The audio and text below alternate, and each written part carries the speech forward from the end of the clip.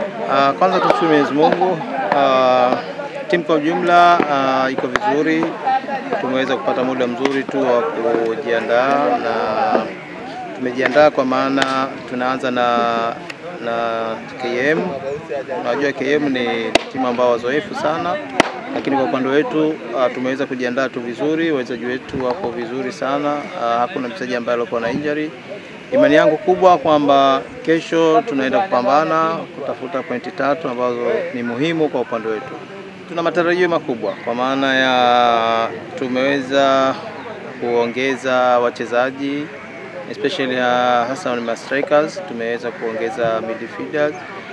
Imani yangu kwamba yale makosa ambayo yalikuwa yakifanyika huko nyuma ambayo yanatupelekea sisi kupata draw nyingi na imani kubwa kwamba tunapoingia katika mzunguko huu wa, wa, wa, wa mwisho, imani yangu kubwa ni kwamba tutamaliza vizuri na hizi draw tuta, tutazisikia sikia tu, japokuwa ni mpira. Mpira huwezi huwezi kutabiri kwamba huwezi kupata draw ama vipi, lakini imani yangu kwamba tutaondoka katika katika draw zilikuwa nyingi. Imani yangu kwamba tunaweza tukashinda. Tuka kwanza tunaelewa KM, tuna tunakwenda pale kwa maana ya kuwaheshimu KM.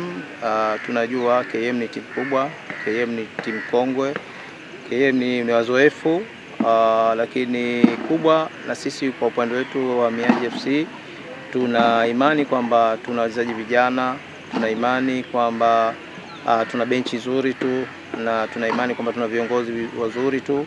Imani yangu kubwa kwamba kesho tunaenda kupambana na KM tukiamini kwamba kesho tunaenda kupambana kutafuta pointi tatu ambazo muhimu kwa upande wetu. Shabik watarajie mazuri tu, watarajie mazuri kwa maana uh, tumeona mabadiliko, tumeona mabadiliko makubwa tu kwa upande wa bench, tumeona mabadiliko makubwa tu kwa upande wa wachezaji wa so wapenzi waje kwa wingi sana, waje waiangalie Wahamiaji FC, waangalie uh, mpira unachezwaje, waangalie namna gani wachezaji wetu wanaweza kupambana, waangalie kwamba vipi sasa hivi nidhamu ya, ya timu ilivyobadilika.